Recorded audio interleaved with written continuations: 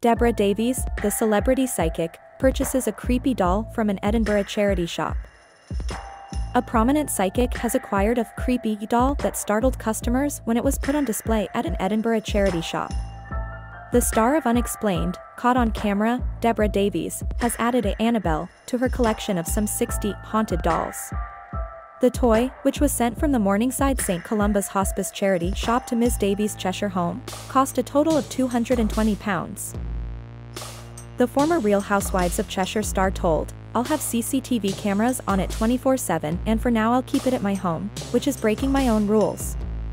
I keep the rest of my collection a few miles away, as many of them were sent to me by followers following serious poltergeist activity. Annabelle's photo went viral on the internet after the Ashton Drake Galleries doll was shown in the store window with an I am not creepy inscription attached. According to Simone Varga, manager of St. Columba's Hospice charity store, the doll was donated by a former volunteer who was leaving Edinburgh. Ms. Varga claimed that she was shocked by how lifelike the doll seemed when she first opened the box. She told, when I took it out and saw the legs and all that, I was like, these do look like human legs to me. It had the little shoes on, which was quite creepy, and the white bits on the nails. And the feel of it, it's a plastic, but a funny kind of plastic, a rubbery plastic. It went viral after somebody said they felt the doll's eyes were following them when they walked past the shop window and then that was it.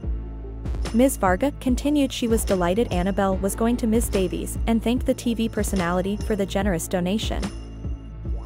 Ms. Davies said one of her social media followers alerted her to Annabelle and she believes the doll may have a soul attached to it. Ms. Davies said, as Edinburgh is one of the most haunted places in the UK with a wealth of history and this doll was causing people to not be able to sleep at night etc., I felt there may well be a soul attached to it. Especially as it was in Morningside, which is well documented to be haunted. I personally feel that the soul attached to this doll lost a child that looked very much the same as this doll. I feel it's an old earthbound soul from that area.